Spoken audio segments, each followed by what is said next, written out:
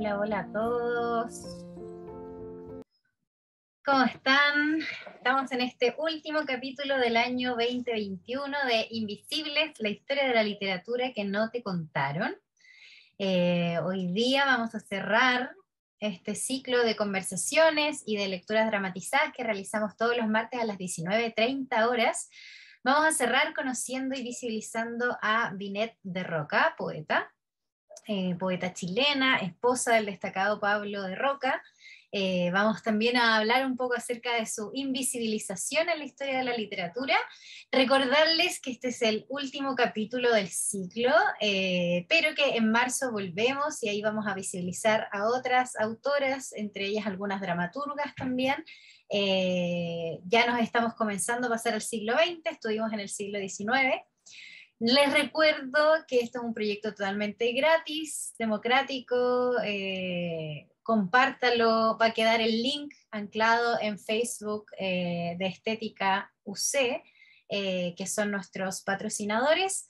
Va a quedar ahí durante toda la semana para que lo puedan ver, repetir, escuchar, todas las veces que quieran y para que lo puedan compartir. Este proyecto fue financiado por el Fondo de Fomento Lector y está organizado por La Víbora Sutil, que es la compañía de teatro que dirijo yo, y por autoras chilenas, en donde voy a invitar al tiro a mi querida Pauli.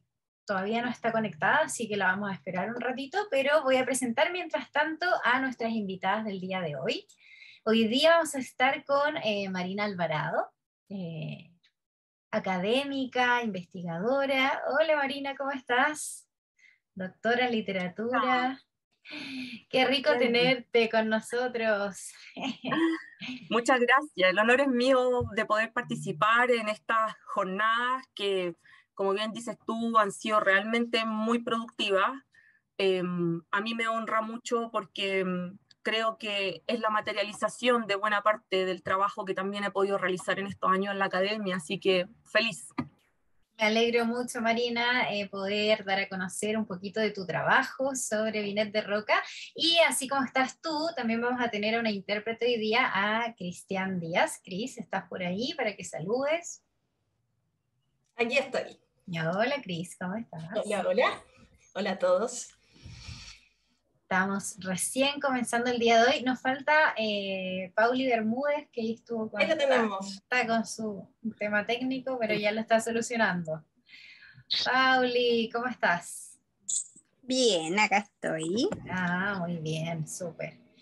Bueno, sí, perfecto. Sí, de todas maneras. Contarles mientras la Paula dice ajusta que este proyecto fue financiado por el Fondo de Fomento a la Lectura, ¿cierto? Y eh, que está patrocinado por el Instituto de Estética UC, por Valpasea Arte Joven, y que tenemos de media partners a Fundación Niñas Valientes, a Tremendas y a Patrimonio Chileno, y que gracias a ellos es posible esta parte de esta conexión. Ahora sí que sí, partamos con todo, Pauli. Muchas gracias. Como, como decimos, en verdad, en casi todas nuestras sesiones agradecemos también a las personas que se unen en todas nuestras plataformas. Estamos por acá, webinar Zoom, tenemos también la transmisión del Instituto de Estética de la Universidad Católica y por Instagram Live desde La Víbora Sutil. Así que muchas gracias. Em, ya nos estamos viendo por todas las plataformas, supongo, ¿cierto? Sí, sí, yo estoy en todas. ah, ya, perfecto. Entonces, Bienvenida, Marina. Hola, Cris. Qué hermosa. Eh, hola, hola. Primero queríamos partir entonces conversando con Marina para que nos cuentes quién fue Vinet de Roca. Cuéntanos, por favor, parte de su biografía. Queremos conocerla, queremos que nos introduzcas, porque como hemos dicho en otras ocasiones, no todas, todos los que estamos acá conocemos el trabajo ni hemos leído a todas las autoras que estamos visibilizando.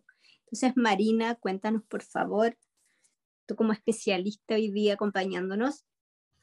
Muchas gracias. Sí, les quiero contar, pero solamente eh, no sé si eh, Diana puede corroborar si ya comenzó eh, la transmisión en el YouTube de Estética de la Católica. Ese es un Facebook Live, no está por YouTube todavía, es por Facebook. Es por Facebook. Ah, perfecto, por Facebook Live, porque eso me estaban preguntando y yo no sabía qué decirles, la verdad. es Facebook Live. Sí, igual por, eh, por el Instagram de la Vibra Sutil están todos los links, el de Zoom Webinar, el de eh, Facebook Live y el de Instagram Live. Perfecto, perfecto. Perfecto, súper bien. Sí, porque como te digo, algunas personas me estaban, entonces ahí hacemos la aclaración para que no, para que no se pierda nuestro amable público. Bueno, empecemos. Em, la verdad es que hay un montón que contar sobre eh, doña Winnet de Roca. Eh, su nombre real, Luisa Navalón Sanderson. Ella nació en Santiago de Chile en el año 1892 eh, y falleció en agosto de 1951. Así que justamente este año estamos eh, conmemorando 70 eh, años ya de la partida de, de Winnet. Bueno, ayer nos costó muchísimo en el live de preparación de, este, de, este, encuentro, hay que ser justo, nos costó mucho eh, aguantarnos. Los profesores, las profesoras, eh, padecemos de una incontinencia verbal enorme. literalmente estaba con bozal porque además las preguntas que hizo Violeta el día de ayer daban como para seguir conversando con mucho entusiasmo sobre el tema. Así que em, tal vez para no repetir, pero sí eh, cumplir con lo que prometí el día de ayer, que era ya contarles con más detalle. Eh, al igual que, que, ocurrió con otras autoras de la época, como ya hemos visto en, las presentaciones anteriores, Rosario Rego, Mercedes Marín, Maipina de la Barra, entre otras, eh, Winnet Roca no forma parte del canon habitual de la literatura chilena. Eso es lo primero que tenemos que decir. Escasamente las y los estudiantes de las mismas carreras de literatura la conocen, eso punto uno. Y punto dos, eh, cuando se hace un reconocimiento, se le menciona, la verdad es que son muy escasas las ocasiones en las cuales se le releva por su calidad de artista y no por su calidad de consorte. Suena muy fuerte lo que estoy diciendo.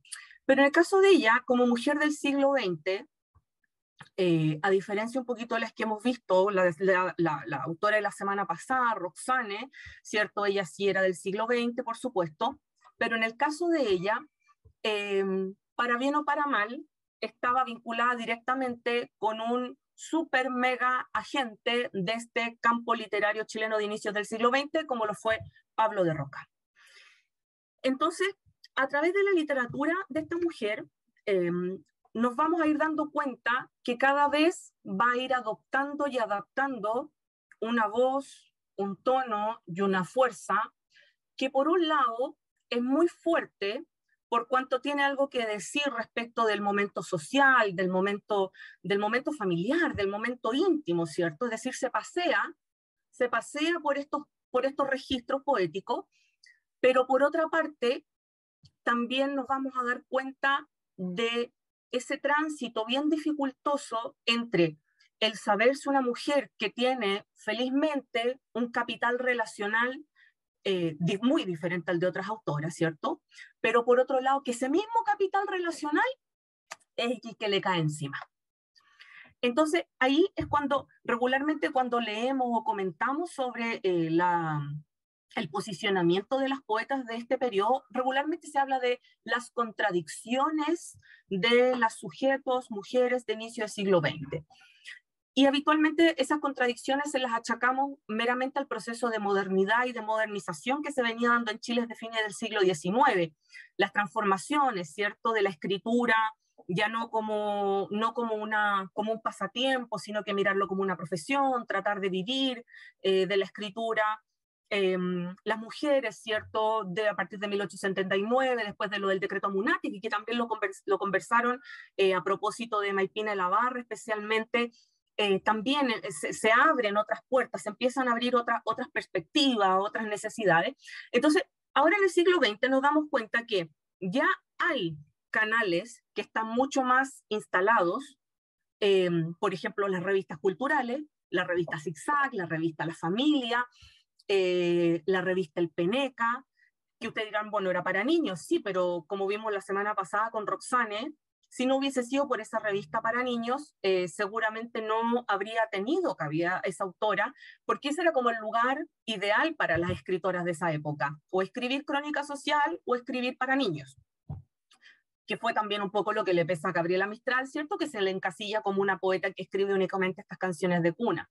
Y en el caso de Winnet, como comentábamos, em, no solamente le va a caer encima el peso de, de ser la esposa de, sino que a ella también le va a caer el peso de tener como contemporánea a Gabriela Mistral. Y si bien, eh, es decir, esto también lo hablábamos, un poco lo spoileábamos ayer en el live, no, si bien es cierto que desde nuestras lecturas, desde el presente, desde los aparatajes teóricos, podemos mirarlas, ¿cierto? Con las herramientas que nos entregan los estudios, la teoría de género, ¿cierto? Toda esta escritora, también es cierto que no tenemos que ser ingenuos respecto de que este era un campo, ¿cierto? Un espacio de escritoras, eh, colaboradoras entre sí, etcétera, porque también habían diferencias y diferencias fuertes que se manifestaban. Entonces, en el caso de Winnet, si bien yo no tengo claridad eh, de, de, la existencia de algún vínculo directo entre ambas, sí es cierto que Winnet también fue comparada reiteradamente durante la época con Mistral, asumiéndose que su escritura era prácticamente... Eh, era, era no, no, sé si decir como una copia mala, pero que eran un poco del mismo, del mismo estilo que respondían a la misma escritura. Felizmente años después se ha venido a desmitificar eso y a señalar a Winnet de Roca principalmente como una eh, poeta vanguardista, idea que yo suscribo completamente. Y en este sentido, hacia mirando como la escritura de Winnet, ¿ella solamente escribe poesía o eh, bucea en otros géneros literarios? Bueno, es que eso es lo interesante de Roca y lo que vamos a tratar de conversar ahora con, bueno, Cristiano obviamente lo, lo, va a hacer muy bien, de hecho yo ya la veo y trato de no mirarla porque me emociono mucho en mi espíritu, no solamente de investigadora, sino que de calcetinera, como lo decíamos ayer, es inevitable tener un, fanatismo muy potente por ella. Em, pero ella también se pasea muchísimo por el ensayo, pero sobre todo si vamos a la parte más, la parte creativa, tenemos que pensar en la, eh, en la prosa poética. Es decir, es, eh, es una poesía que, que, podríamos decir que tiene distintos momentos en ella y que y esos momentos van de la mano con también otro tema que me costó mucho ayer aguantarme de hablar más, que va de la mano con sus seudónimos. Y eso yo creo que es algo muy sabroso sobre lo cual sí o sí necesitamos conversar hoy día tiene varios seudónimos, yo le había visto uno porque se repiten con otras escritoras, algunos, sí. ¿Podéis, nombrar los que, los, que, los que tú conoces? Mira, el, sí, ayer se nombraron varios. Queremos saber hacia, hacia dónde iba cada uno, estas personalidades, multiplicidad de personalidades que tú nos contabas ayer. Bueno, la Pauli muy bien, puso, puso mucha atención. bueno, en el caso de... saqué un 7 En el caso de Winnet de Roca, tenemos, eh, bueno, los dos seudónimos que son los, los más famosos y que son en realidad con los que va a perdurar y que se va a inscribir su obra poética, que es eh, Juana Juan Inés de la Cruz, en su, primera, en su primera etapa, podríamos decir en su etapa de soltera, estoy pensando en el año 1915, con su obra eh, Lo que me dijo el silencio y Horas de Sol, que si es que tenemos algún momento, me encantaría que pudiésemos hacer unas pequeñitas lecturas poéticas para que vayamos viendo cómo va variando esta escritura en Winnet. Y luego, una vez que ella se casa en 1916 con Pablo de Roca, asume el nombre de Winnet de Roca. Entonces, em, algunos dirán, bueno, para bien o para mal, ¿cierto? Ella se va a asumir o se va a sumar, ¿cierto?, a esta, a esta, a esta sociedad con su, con su esposo, ¿cierto? Y que como ya comentábamos desde el inicio, era para bien o para mal. Que, que, en el fondo eso también fue lo que le costó esta, esta desconsideración de parte de la crítica, ¿cierto? Esta marginación. Pero por otro lado, eh, nos vamos a dar cuenta, y me gustó mucho un texto que leía yo un poco para refrescar alguna idea sobre Winnet, y es que así como Pablo de Roca funda su revista eh, Multitud, él también va a asumir su escritura como una multitud y va a asumirse el clan de Roca como una multitud. Y Winnet se va a sentir parte de esa multitud. Entonces, cuando se señala que Winnet es eh, la musa de Pablo, eh, que la deja instalada, ¿cierto?, en un espacio más bien pasivo o como una rosa, como la describe sobre todo en su poema, en, el poema eh, elegiaco que él le dedica cuando ella fallece en el 51, eh, ahí nos vamos a dar cuenta que, que él, también, él también tiene como, o sea, así como ella fue musa de él, él también fue, fue, fue inspiración para ella. Y ella también, si ustedes lo quieren en términos más contemporáneos, ella también lo objetualizó. Qué fuerte que no haya como la palabra muso, como que te viene esa... Claro. claro, pero los hombres también son musos inspiradores. Yo, no sé, yo no sé si, la, si, si Diana me permite esta pequeña digresión a lo mejor, pero em, con mi espíritu de profesora también, em, estuve revisando también los poemas de, de Winnet para, para, poder pensar en esta, en esta muestra un poquito de hoy. Y, y, por ejemplo, el poema Cabeza de Macho, a mí me parece que, que, es fundamental para comprender esto, esto que les decía, o sea, esta como objetualización respecto de, respecto de, de, su, de su esposo, de su otro, no sé si, Diana, tú me dirás, eh, Pauli, si me, si me autoriza. ¿Es muy largo? Si no es muy largo, démosle. Cabeza de macho. La mancha trágica de tus cabellos encarna un mar fascinante y entenebrecido. Alvea tu frente magnífica, escrita de surcos, y tus sienes como dos azucenas puras. Tus cejas y tus pestañas interrogadoras recogen la esmeralda enferma de tus ojos. Se destaca en la oscuridad del fondo tu nariz de águila meditativa. Tus labios destilan dolor y pasión y están maduros para el beso. Piedra con alma, sonríe tu cara de ídolo dormida en la canasta de rosas de mi pecho. Cabeza de macho. Cabeza de macho. Sí, ella, esto iba a decir como, porque voy a hacer una recapitulación. Pido disculpas a la gente de Facebook, pero en algún minuto se quedó pegadísima la transmisión de Facebook, así que volvimos a levantarla y ahora sí está funcionando.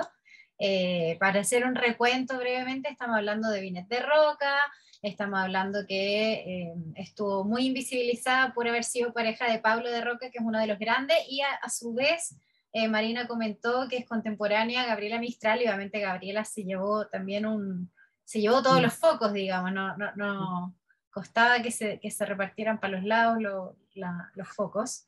Eh, y estábamos hablando de que no solo Pablo de Roca le escribía a ella, sino que ella también le escribía a él y lo objetualizaba, y acabamos de leer Cabeza de Macho.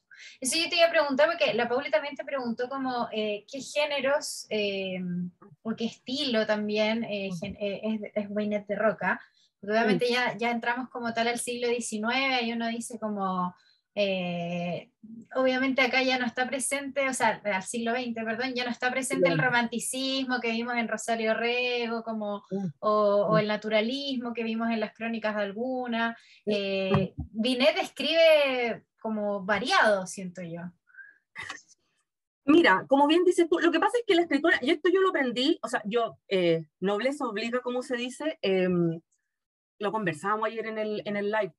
Yo llegué a estudiar estas poetas, a Winnet de Roca, a María Monbel, a Teresa Bismont, gracias a Nain Nómez, que él es poeta chileno, investigador académico, especialista en Pablo de Roca.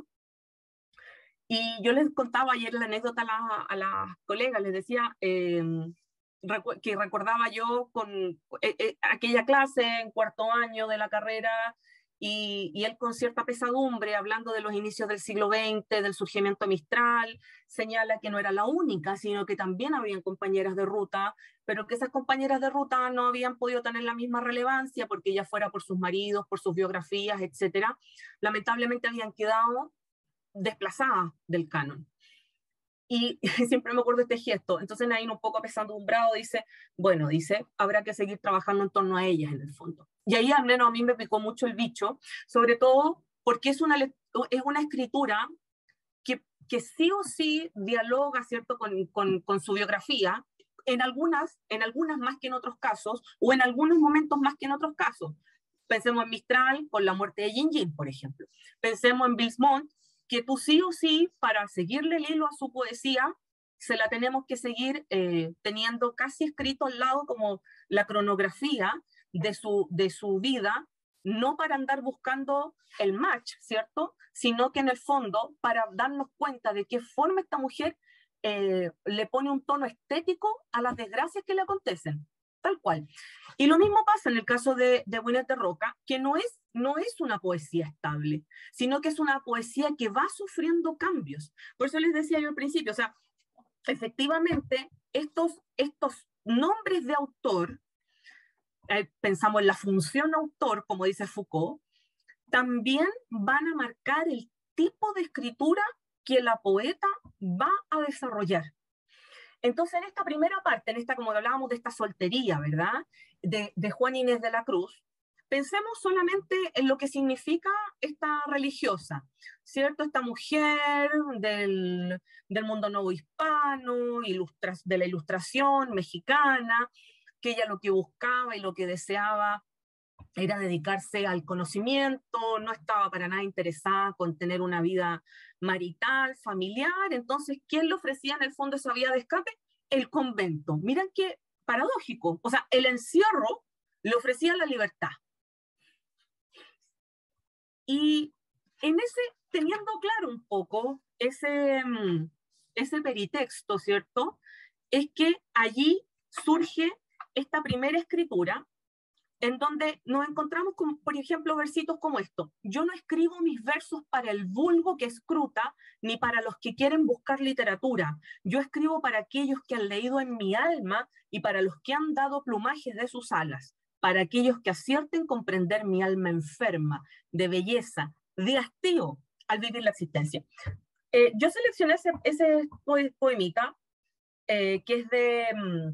De lo que me dijo, perdón, de Horas de Sol, porque eh, pues, como leitmotiv que nosotros nos vamos a encontrar en estas escritoras, con esto un poco spoileo la segunda temporada de Invisibles y también un poco me devuelvo lo que ya hemos visto con la otra autora, el hastío se transforma en, en un campo semántico predilecto para estos poetas.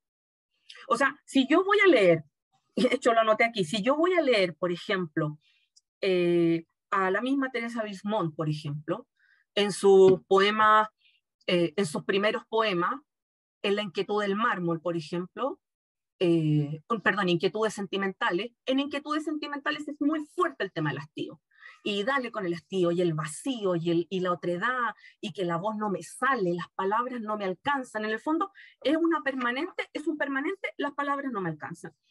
Y, y el alma, el espíritu, pasa a tener un espacio primordial, precisamente porque es donde se nota esta diferencia y como una lucha entre la una, ¿cierto? Y la otra. Esa que está, esa que vive en el inconsciente, en el espacio, los sueños, del desorden, ¿cierto? De lo dionisiaco. Y por otra parte, ¿cierto? Tenemos esta cruda realidad que te muestra el deber ser. En ese sentido, Marina, eh, Binet de Roca podría considerarse como surrealista como, como trabaja tanto el sueño, el inconsciente. Mira, yo alguna vez lo pensé así, ¿ah? que, pero eh, de nuevo, me acuerdo que en estas mismas clases y en estas discusiones, acuérdense que los surrealistas son posteriores y en realidad esta tradición de estas mujeres que escriben de esta forma eh, responde más bien a, mm, al, al canon lector del cual también ellas eran receptoras. O sea, si nosotros leemos también a una primera Mistral, Mistral también tiene, tiene, un, tiene una predilección por el tema del sueño, eh, de, mm, de, la búsqueda espiritual, del amado, ¿cierto? Que, que ¿cierto? Cuando, me encanta cuando Mistral, en la sujeto poética, ¿cierto? Y entonces, y estás, es como poco menos, y estás enterrado, bien muerto, pero te quiero agarrar y te quiero volver a sacar. Bueno, esa es una idea que se repite, pero no porque se copien, sino porque eso responde a que cuando nosotros leemos a estas autoras, en realidad también estamos leyendo a lectoras.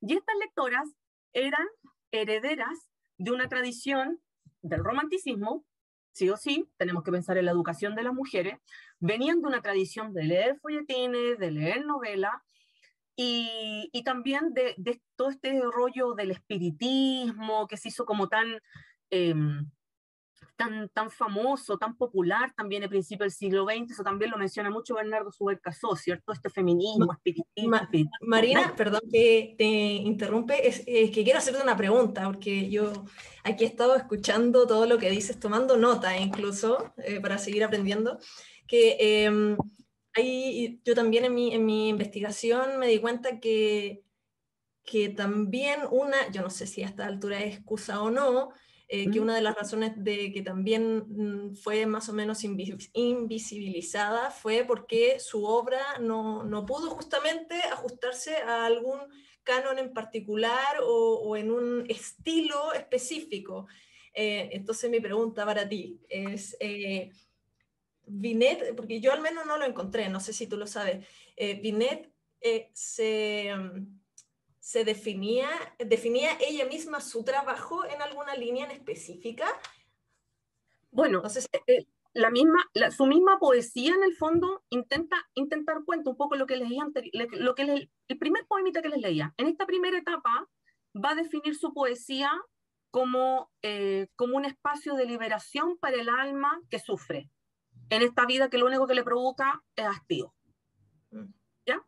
Pero en una segunda parte ella va a asumir a su poesía, a su literatura, a su prosa poética, como un espacio contestatario, como un espacio de lucha, como un espacio de rebelión, de una rebelión íntima, pero también de una rebelión pública. Y... Bastante pública, creo yo. muy pública, muy pública. sí, no, no, no tenía problema, digo yo, leyendo ahora desde el 2021, en, mm en escribir poesía con tintes políticos. o sea, eh, más que no tintes. Sé, no, sé si, sí, claro, política. Eh, incluso, en, por, ejemplo, hay una poesía, Santiago Ciudad, si no me equivoco, eh, también describe muy bonito la ciudad, lo que ella lo ve, pero si uno quiere como incorporar un poco su biografía y leer un poco desde ahí, creo mm. que la, la forma en que narra también dice algo de esta crítica o hastío. También hay otro, otro poema que me gusta mucho, em, déjame recordar el nombre, es Carcoma y presencia del capitalismo. Mira, no nos pusimos de acuerdo, querido público, ¿ah? Ay, no se ve, pero no importa, créanme a mí, Carcoma presencia del capitalismo. Aquí, aquí lo tengo, aquí lo tengo. Eh, Marina. Muy y todo, pero si uno, uno lo, lo lee desde, eh, desde la perspectiva de cómo probablemente Binet lo quiso escribir, eh, o sea, una ironía increíble. O sea, el día de ayer, Violeta en un momento me dice, de nuevo, ¿ah? en el afán de contenernos con la información para hoy. Pero claro, pero Violeta me dice, bueno, ¿y desde qué lugar la podríamos leer el día de hoy? Entonces, esa respuesta que en el fondo me di, me di un par de volteretas para no contarles todo, ahora sí se los digo y se los respondo con Winnet. Carcome y presencia del capitalismo, frío, plano, de exactas dimensiones, el siglo XX cabe en una cancha de tenis. En mesitas de café concierto, entre pajillas, whisky sours y cigarrillos egipcios, la mujer contemporánea borda corpiños de seda negra.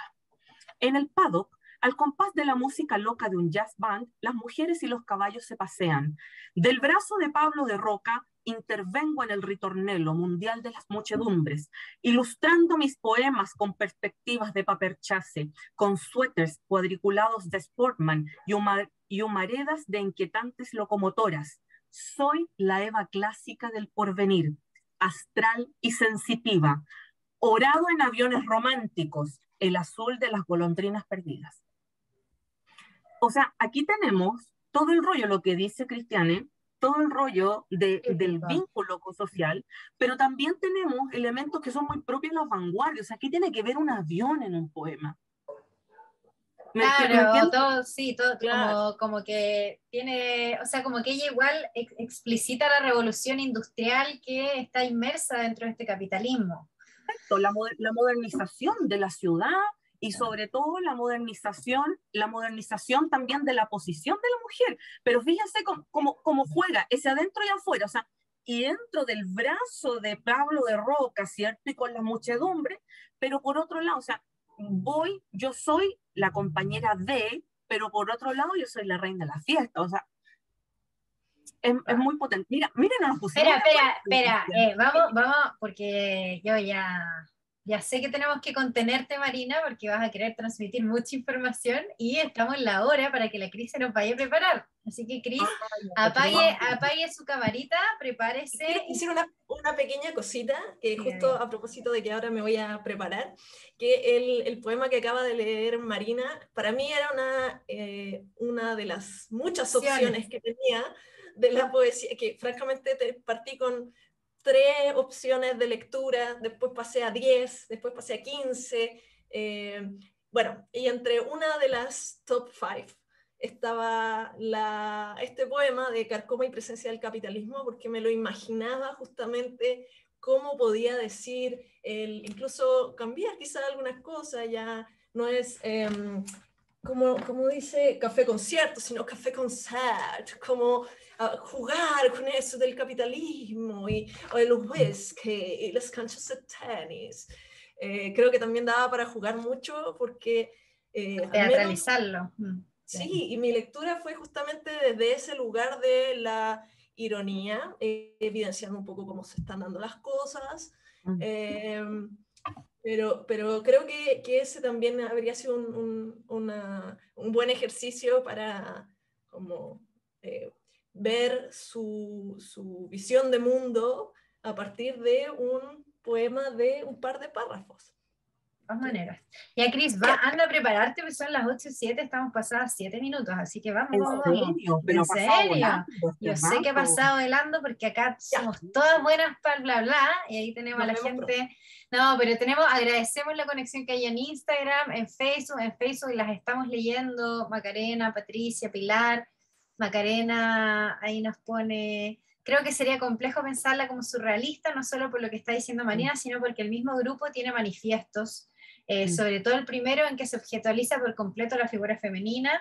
Eh, también Maca comenta que las observaciones de la ciudad de Binet de Roca le recuerdan a ciertos textos de Enrique Lin.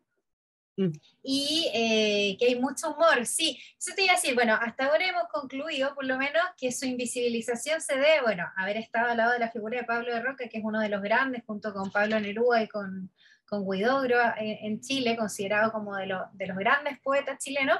Claro, haber quedado bajo la sombra del marido y una segunda situación de invisibilización tiene que ver con esto que dices tú, que generalmente cuando estudiamos o revisamos a los escritores se los encasilla en alguna mm. determinada corriente o estilo y ella no responde como buena diversidad y minoría como mujer, mm. no responde a un estilo eh, definido. De hecho, tenemos una poesía que habla del sueño, ¿cierto? Tenemos una poesía política, también tenemos una mm. poesía que estuvimos a punto de mostrarla, pero no quisimos como encasillarla en el rol eh, de estereotipo. Eh, tiene poesía a hijos que se le murieron, ya que ella tuvo muchos hijos y varios de ellos eh, partieron y tienen unos poemas muy, muy dramáticos de a, Tomasito, ¿cierto? Em, eh, de como de 10 páginas, increíbles los poemas para dramatizarlos también. Mira, antes de que vaya la Cris, vamos a tomarnos un ratito eh, para hacerte una última pregunta antes de partir, Marina, que es em, para ti, ya, sabemos que están estas diversidades de estilos, pero, ¿cuál sería el valor estético? ¿Por qué sería importante estudiar a Binet de Roca? ¿Cuál es su valor literario? Así como que tú dices como, oye, es importante conocerla porque ella igual aporta esto o genera esto. Mira, es importante conocer a Winnet Roca porque cuando tú, cuando tú ingresas a su poesía y te empiezas a dar cuenta de las, de las figuras, por ejemplo, que utiliza regularmente, no estoy hablando de las figuras retóricas, ¿ah? sino que estoy hablando de los campos semánticos que construye, de, mm, de los espacios, de los marcadores, etc., tú te das cuenta que existe un, un, un espíritu de época que está marcando la escritura de todas las demás poetas. Es decir, cuando a Mistral, por ejemplo, siempre se le, se, se le vincula naturalmente, ¿cierto?, como una cuestión absolutamente continua con Alfonsina Storni, con Juana de Ibarburú, eh, yo pienso que acá la poesía de Winnet de Roca nos ayuda no solamente a entender y a, y a, y a encarle el diente a una fundamental eh, eh, fundadora de este capítulo llamado literatura chilena, sino que también es como una llavecita que nos permite abrir esa puerta para mirar también a las otras escritoras. Es decir, yo no puedo leer a, María Luisa Bombal, por ejemplo, sin tener ese bagaje crítico, sin tener esa ricura estética que me ha entregado Winnet. Lo mismo que me pasa a mí, yo no puedo leer a Teresa Bilsmont sin haber leído, por ejemplo, a las colegas del siglo XIX. Porque allí no solamente es donde vamos a dar cuenta de la especificidad y el aporte que ellos van a dar, que yo te puedo decir, claro, eh, Bilsmont, ¿cierto? Eh, es muy íntima y que a lo mejor si no se hubiese muerto tan joven, probablemente también habría llegado a una maduración en donde se habría despegado un poco de lo afectivo. ¿Cierto? Pero en el caso de Winnet nos damos cuenta de este trayecto. Es un trayecto que también nos permite entender a las poetas contemporáneas, a las más actuales. Ayer también lo comentábamos, yo les decía, cuando leo a Carmen Berenguer, cuando leo a Marina Rate, cuando leo a, a Soledad Fariña y el vínculo con el cuerpo y la erotización y la lengua y la utilización de la naturaleza, ¿cierto? Como parte también de esta, eh, de, toda esta, de toda esta cuestión tan pulsional, pero yo vuelvo a entender esa poesía cuando yo leo primero Porque la escritura de mujer, y eso lo aprendí con Eliana Ortega, eh, la escritura de mujer está permanentemente buscando un anclaje, porque está el nivel de vacío que hay en la escritura de mujeres, que necesitamos siempre agarrarnos de atrás, agarrarnos de atrás y empezar a mirar a la antecesora. Como decía, ¿cierto? María Luisa Bombal, ¿cierto? Que, que, que, ella tenía como todo un tema, ¿cierto? Que se hacía llamar como la abejita, etcétera. Entonces, entonces hablan también de que como una suerte como de matriarcado, y necesitamos mirar hacia atrás. Insisto, no es que se lleven todas bien, porque eso no, eso no es así, es iluso. Pero, pero para mí es, eh, es un aporte fundamental y sobre todo si miramos también su, su vínculo, eh, su vínculo con lo social, su vínculo con lo político, y ojalá alcancemos a comentarlo brevemente, pero sobre todo esa prosa poética tan narrativa que pensamos en los colegios, pues cuando vemos el famoso viaje del héroe. Regularmente lo hablamos desde los textos epopélicos, ¿cierto? Desde la épica, desde los textos griegos, etcétera. Y resulta que ese texto que, que yo más o menos algo te comentaba hoy día, Diana, eh, Lolot, que aparece en la revista Multitud, es asombroso, porque tiene un peso de figura, de intertextualidad, de diálogo, y te abre un mundo de posibilidades para poder aprender sobre mundos diferentes.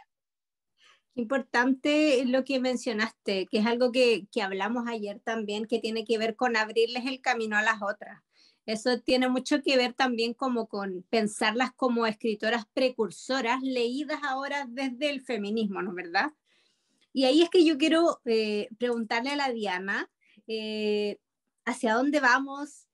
cuál va a ser esta lectura y más allá de cuál es la lectura, por qué fue esta elección, ¿Cuál, cuáles fueron los parámetros para hacer la elección de este poema, porque como dijo la Cris, tuvo primero tres, después 15, después 20 opciones, y por qué eh, nos quedamos con esta opción que, que, es lo que vamos a escuchar ahora. De todas maneras, mira, eh, yo creo que no el criterio no fue solo teatral, como que es lo más bonito de dramatizar, eh, sino que también hemos hablado también de una curatoría desde una crítica literaria feminista, que es mi, mi casa alma mater del Instituto de Estética con la Patricia, con la Patricia Espinosa, y es que la idea era aportar una visión diferente de Binet de Roca que no sea la esposa de, la madre de, y todos estos roles otros que hemos tenido las mujeres a lo largo de nuestra historia debido a que no accedimos normalmente desde nuestros inicios a votar, educarnos, etcétera, sino que tuvimos eh, la imposición de ciertos roles tradicionales. Entonces,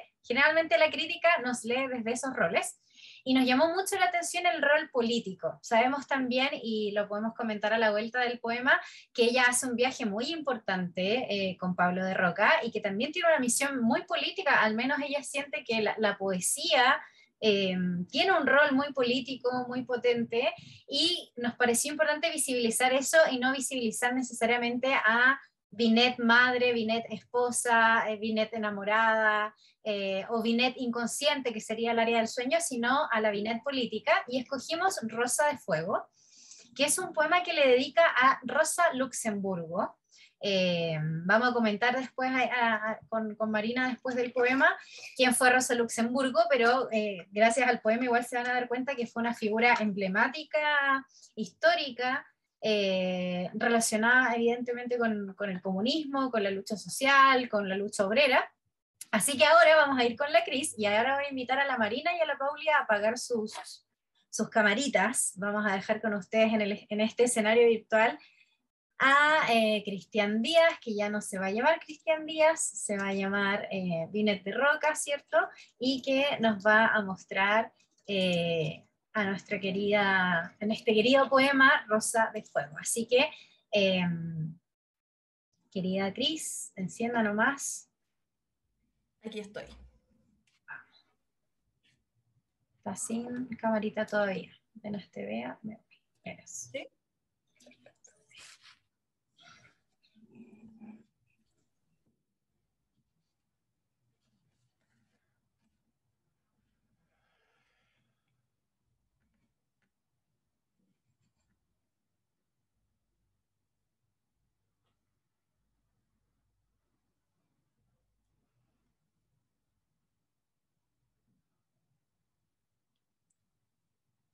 ¿En qué jardín de luz está sembrada tu memoria?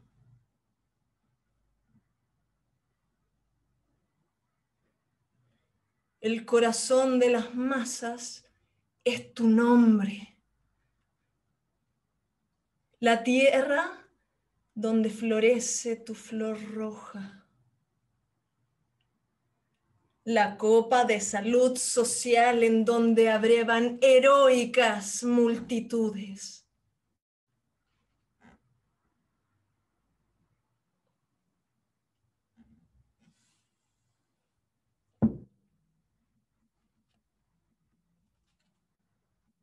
¿Desde qué regiones hablarte al oído?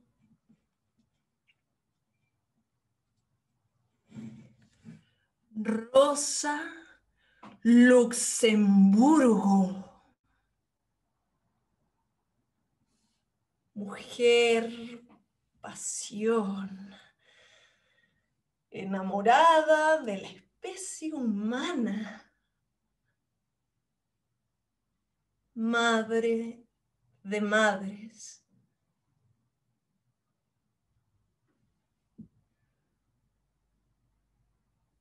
Mártir.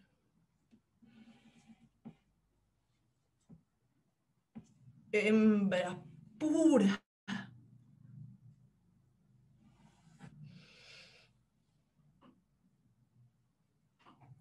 Lámpara perenne. Margarita de diamante. Corola libre del espacio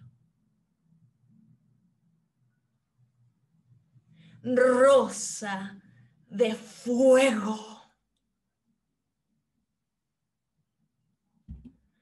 Alegría de los proletarios escarnecidos.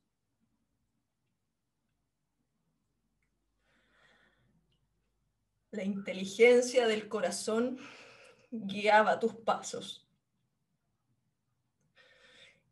Y la revolución alumbraba como un sol rojo tu camino.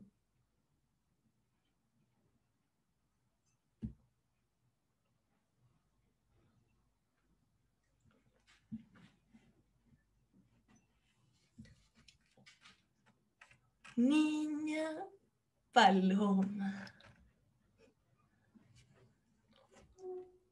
Capullo de cerebro. Flor obrera. ¿En qué país de canción te soñaron? Conductora y compañera.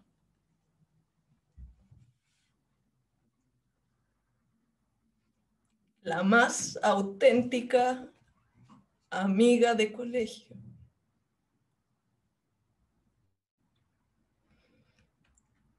¿Cómo te destrozaron la joya del vientre?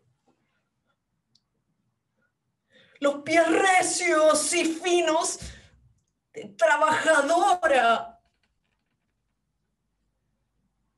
y hermana.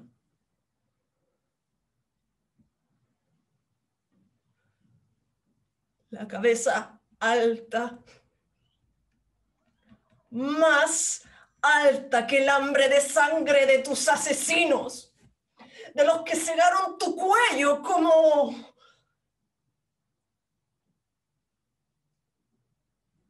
como quien corta un lirio con el hacha de los verdugos.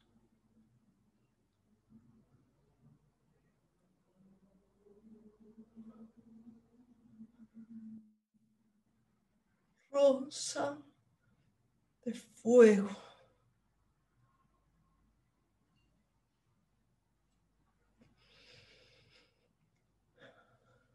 Te llenaste de hijos del alma en la lucha de clases.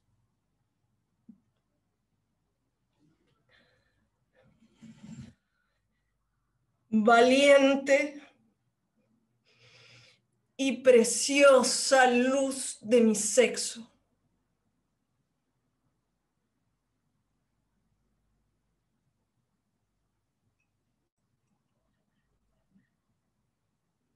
Muy bien, Cris, muy bien, muy bien. Muchas, muchas, muchas gracias. Vuelvan nomás todas. Ya vuelve la Cris en un segundito. Va a renombrarse. Aplausos virtuales. Sí, están, varios aplausos, para la Cris. Muchas gracias, Cris, por esa interpretación, por esa lectura. Te pasaste. Ahí vi que pusieron aplausos también en los comentarios. Muy potente la lectura, increíble tu interpretación, Cris. No estoy viendo en las otras plataformas, solo estoy mirando por acá. Bravo, dicen. Macarena dice en Facebook, uff, me dejó para adentro. Patricia, aplausos, súper, felicitaciones. Bueno, son puros aplausos virtuales. Ahí dije que partamos, partamos hablando un poquito de, esta, de esta lectura dramatizada. ¿Cómo te sentiste, Cris? Por favor. Bien. Sigue siendo bastante curioso actuar frente a una cámara y, espectadores eh, en vivo, eh, pero que no están en presencia. Entonces, es, en ese sentido, siempre un poco nerviosa. Eh, ansiosa también de saber cómo, cómo, va a ser la recepción, porque claro, en el teatro se escuchan o los aplausos o, o, los bostezos, qué sé yo, eh, y aquí no, no hay feedback inmediato, entonces eh, eso también eh, genera, me genera a mí un poco de dudas, como estarán enganchados, se estará entendiendo. Em, pero fuera de eso, creo que los ensayos que tuvimos con la Diana, con el Juaco también me, me dieron esta, obviamente, esta seguridad. de, de, hacerlo y, y creo que, no sé, tengo la impresión que a medida que cada vez que he ensayado más y he dicho otras veces, una y otra vez este texto, como que, como que cada vez siento que, que, que lo entiendo un poco más, eh, de, de, quién está hablando, cuál era su visión respecto de Rosa Luxemburgo, ¿sí? Eh,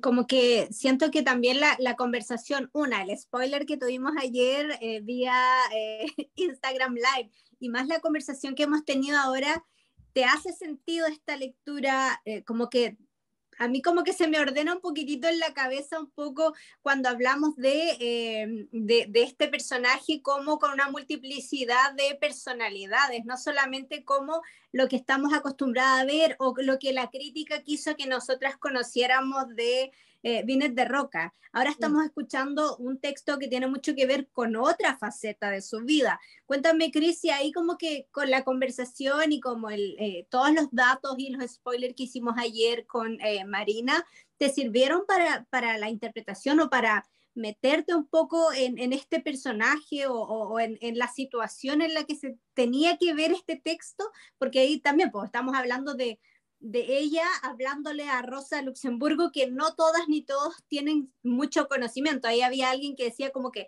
no entendía mucho la lectura, pero sí conectaba con tu emoción. Entonces, como eh, si este es eh, como esta explicación o lo que hablamos previamente, sí yo creo que siento que es como un antecedente que nos sirve obviamente para poder eh, ir decodificando lo que aparece en el poema. No todos estamos acostumbrados también a leer poesía o a escucharla. Entonces cuéntame ahí, Cris, sí. si te sirvió. Yo soy una de esas que no estaba acostumbrada a eh, leer mucha poesía o conocer mucha poesía.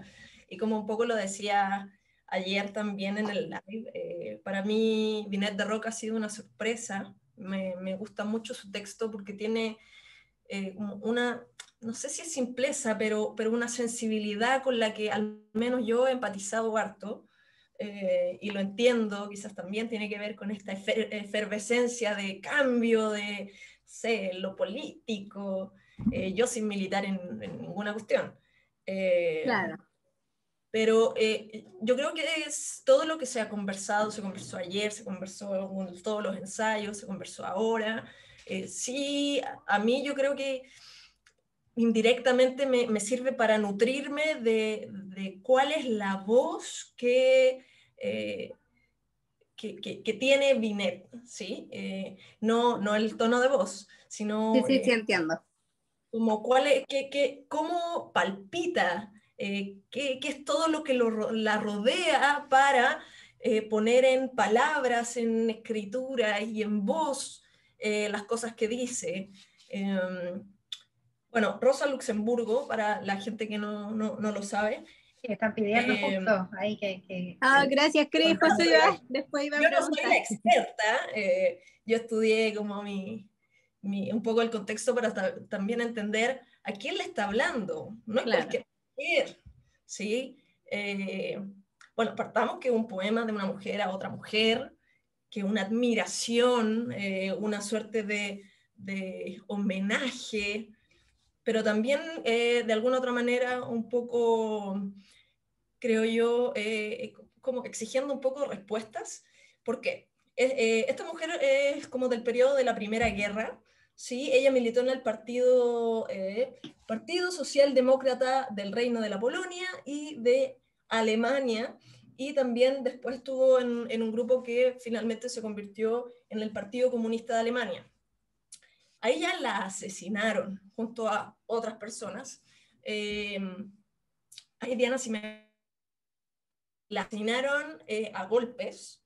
Sí, sí eh, eh, lo que se sale por lo menos de lo que averiguamos es que las personas que la capturaron, eh, es muy loco porque en alguna parte citan, o sea, si ustedes buscan como ahí, que, que, le pegaron un tiro en la cabeza, pero en otras partes sale que al principio la, la, golpearon con el, ay, con la parte de atrás del... Ah, sí, ok. O sea, ¿Cómo se llama cabeza, eso? No, no, no. Tiene un nombre. Sí, sí, la parte de atrás de la pistola en el cráneo y ella eh, murió y ocultaron el cuerpo, después lo arrojaron, entonces, claro. Lo arrojaron eh, al río y apareció. Y supusieron por... Como... Sí, supusieron por las ropas de que era ella, pero como que nada, como muy así, no, no es un cuerpo que se encontró al tiro.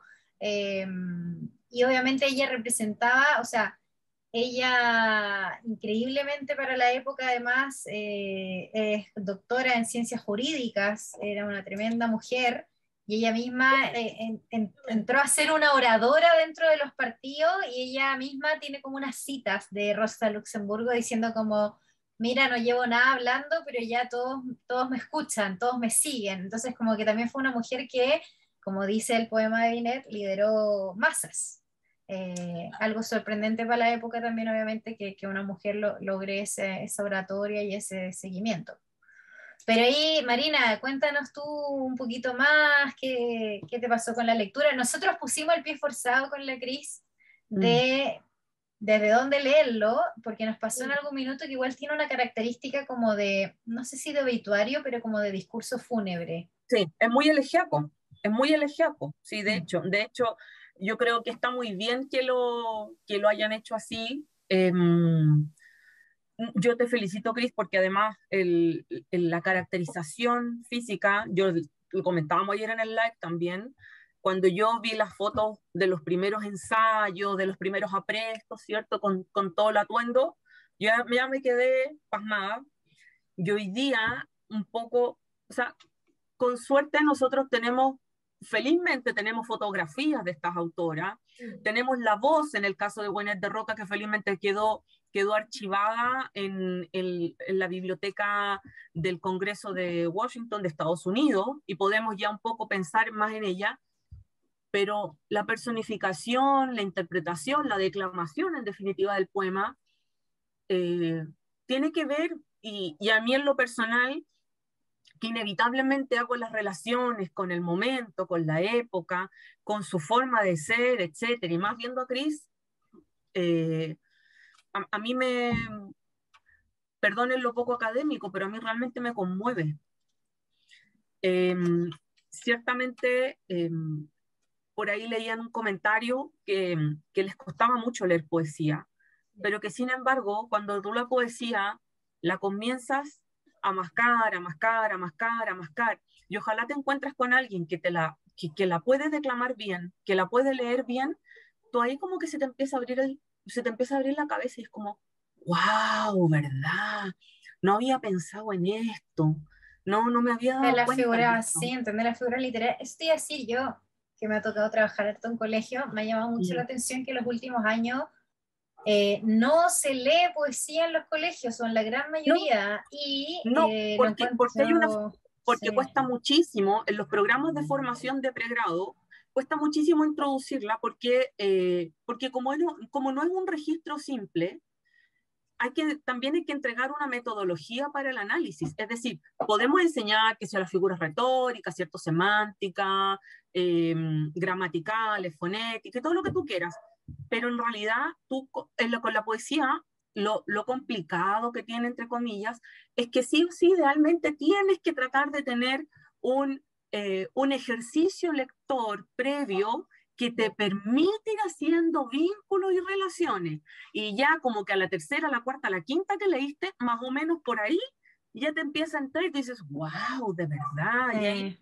Igual yo te iba a decir, como, como yo pienso, hablábamos el otro día con la Pauli, con las chicas de la vieja de lenguaje, la Isabel Ortega, que es profe de lenguaje, una, gran profesora, y con Mina Rifo de Lee Mujeres, que participa en esta organización que también está eh, generando mucha visibilización.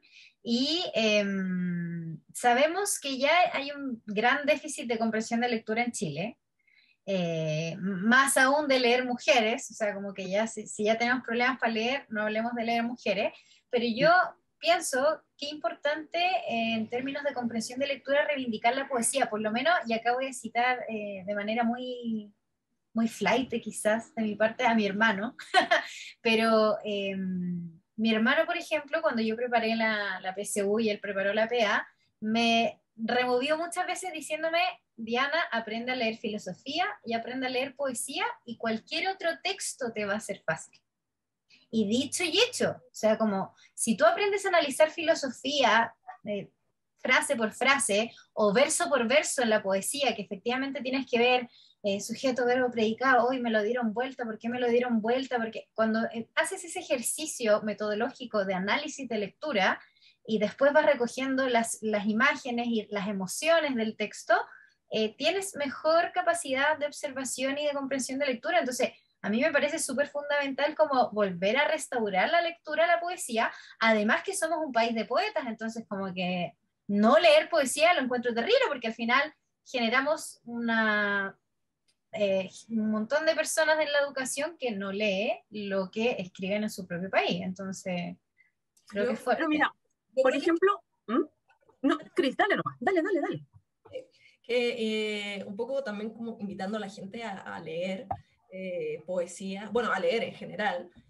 yo también estaba un poco, contar mi experiencia, yo también estaba un poco reacia a interpretar una poesía, lo conversamos al principio con Diana cuando ella eh, asignó el casting, eh, y no solo porque eh, yo no leyera mucha poesía, sino porque tampoco sé interpretar la poesía.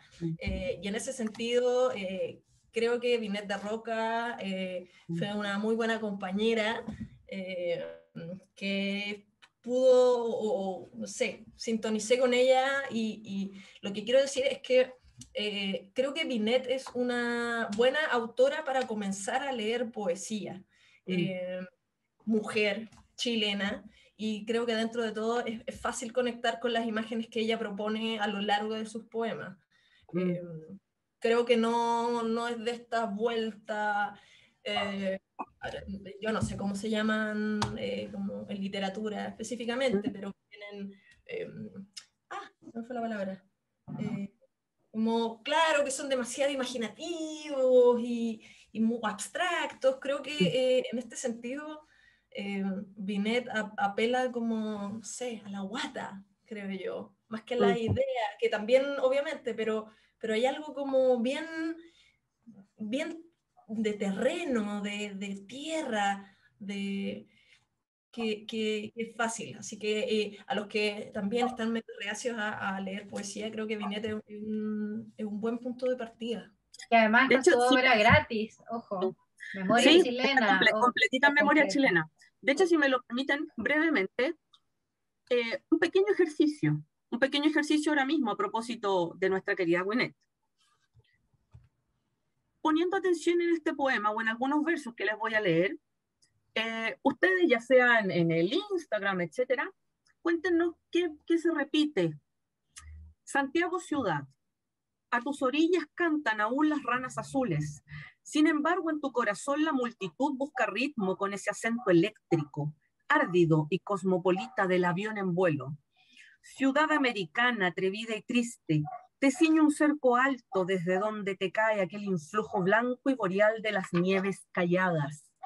Torres como llamas, rascacielos que iluminan la tarde, avenidas hacia el horizonte, plazas amorosas, campanarios de ayer, alegría de fuentes italianas estupefactas, erguidas, aguas inocentes, que columpian una ley que tiembla, aguas de atardecer republicano, armonía del mar disminuida, para los hombros de las mujeres rubias, para las piernas escolares de los niños hacia los barrios que se multiplican ingenuamente, avanzan las gentes preocupadas, presurosas de la propia vida. Sigue, es mucho más largo, es parte de este libro maravilloso de Cantoral. Y hagamos el ejercicio. ¿Qué léxico, qué palabrita se vuelven a repetir aquí en este poema? Acá hablan de territorio, por ahí en un, en un comentario que dejaron en este chat, como que está visibilizando el territorio. Sí, y eh. hagan el vínculo con el que leímos al principio, el, el poema sobre el capitalismo, ¿cierto? Sobre el pan. Cancha de tenis, sí. La sí, o sea, es que yo creo que ella eh, utiliza imágenes cercanas, o sea, como todos conocemos una cancha de tenis, claro. todos conocemos como la orilla o de la ciudad o el pavimento, De hecho, tiene poemas súper arquitectónicos. el tema del avión, Carcoma y presencia del capitalismo. Miren, no sé si podríamos decirlo así, porque es una flaner, ¿cierto? Pero es una flaner mucho más, mucho más íntima. Pero en el fondo, cuando se le piensa como una poeta de vanguardia, es por un lado por su compromiso social, pero por otro lado, porque también está absolutamente en contacto con estas cuestiones que están aconteciendo a su alrededor. mira, acá ah, por fin la gente empezó como a responder y yo creo que estamos, estamos, salimos desfasados de, de mm. Instagram y de Facebook, los que estamos en Zoom. Pero eh, dice palabras asociadas a objetos concretos observables en la ciudad. En Instagram nos dice, eh, aparece la modernidad como decadencia, la ciudad, los colores, la ciudad. Lo que más se repite es la ciudad, la ciudad. Y si nosotros seguimos leyendo este poema, después no Parque, Quinta, Avenida Las Delicias, San Francisco, etcétera. Es decir, también hay referentes comunes.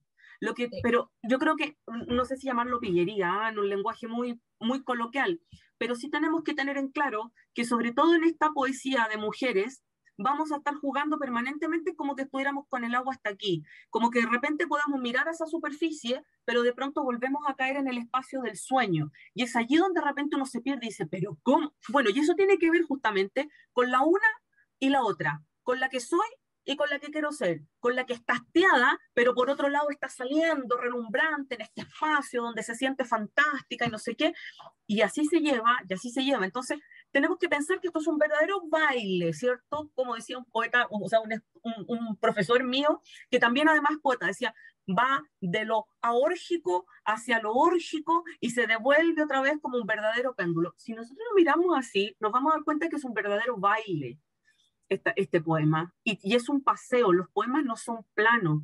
Eh, un, viaje. Es un viaje, un fantástico ejemplo que uno siempre pone el altazor, ¿cierto? Que finalmente este sujeto poético termina a, a, u, a, a, o sea, ya, ya se quedó, balbució, balbució. Es un viaje la poesía, tal cual, es un, es un viaje. Tenemos que pensar lo que no es, no es un discurso estático, sino que em, sino que efectivamente te ofrece, te ofrece una ventana y te está diciendo, mira, yo estoy mirando esto así. Aparte lo ofrece mediante una eh, metáfora, pero, con, eh, pero acercándonos como a, lo coloquial, a, a, lo que decíamos recién, a la cancha de tenis, pero todo como una metáfora, como lo, lo muy mundano, ponte tú, lo que ella veía como lo fancy, supongamos, pero acercándolo o llevándolo hacia una metáfora de lo que ella ve, de lo que ella de repente le molestaba de, de su contexto, de, de, de, la gente con la que ella se estaba relacionando.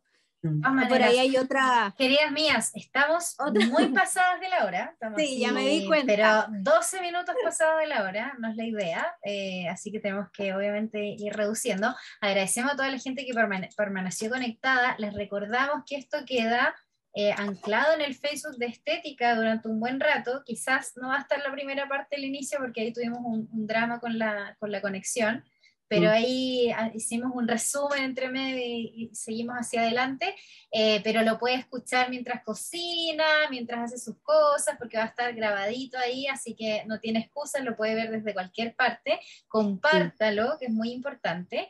Eh, recuerde que la obra de Binet de Roca está subida a memoria chilena, por ende, si usted es profe de lenguaje, puede agarrar eh, extractos de ahí. Eh, si usted simplemente es un lector que se quiere aventurar, láncese, que hay harta poesía muy, muy maravillosa. y recordarles que este ciclo, Invisibles, es de 12 conversatorios con 12 lecturas dramatizadas y esta es la número 6. Se viene fin de año, sabemos que estamos vueltos locos, así que eh, hacemos un receso y volvemos en marzo. Volvemos en marzo, de hecho, seguidito de eh, la fecha de nacimiento de, conmemoración de Isidora Aguirre, porque vamos a partir el primer ciclo eh, visibilizando a Isidora Aguirre. y así a Gabriela Reubke y a un montón, María Mumbel, Teresa Bismón, Estela Díaz Barín. así que, por favor, para que no se lo pierdan.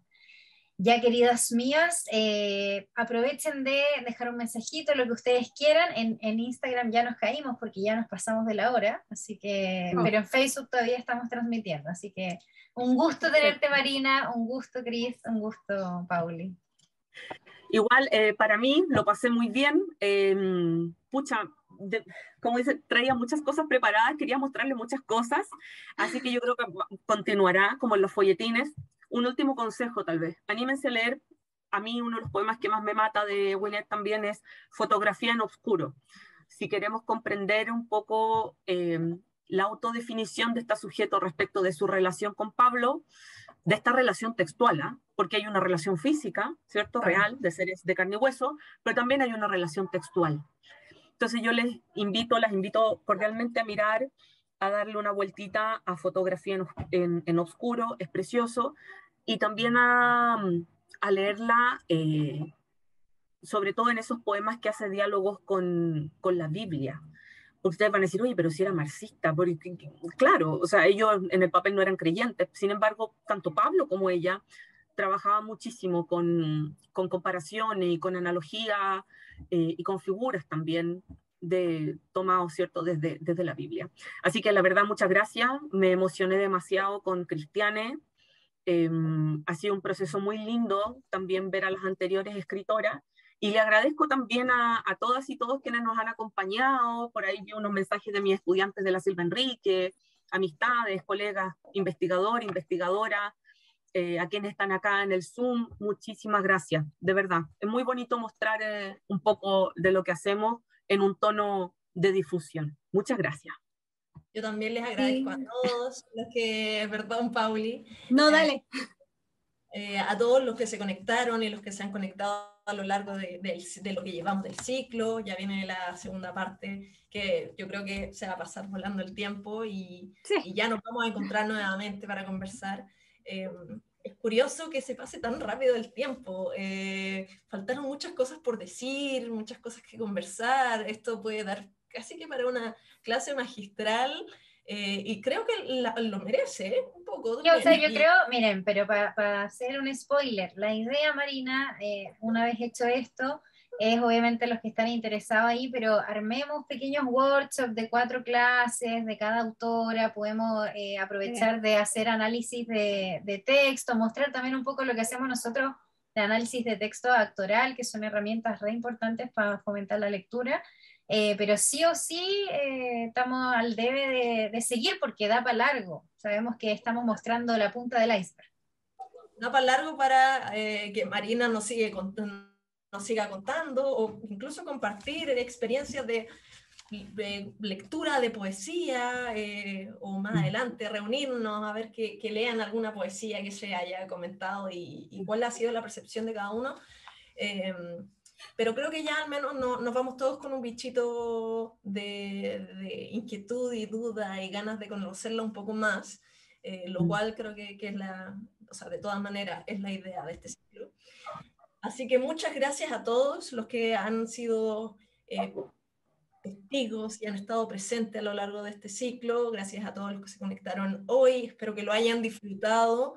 Eh, yo lo disfruté mucho, ni me di cuenta de la hora. Así que eh, muchas gracias y bueno, desde ya a todos les deseo unas muy buenas fiestas. Oh, gracias. Oye, eh, dos cosas. Me encantó también, hay algo súper importante que dijo Marina ayer y que dijo también hoy día, que tiene que ver con la intertextualidad que se ha dado o que se da entre muchas de las autoras que estamos visibilizando. Así que obviamente tiene que haber un, un reencuentro después entre todas y hacemos algo interesante. y lo otro que eh, todo lo que vemos aquí Sí, todo lo que vemos acá a, a Cristi transformada no es magia. Hay un tremendo trabajo detrás. Eh, una, la Diana, como el casting, y está también Joaquín, Tobias Doll, eh, que maquillan, ven desde todo, peinado, vestuario. Entonces también es súper importante visibilizar el trabajo que se hace detrás de las cámaras.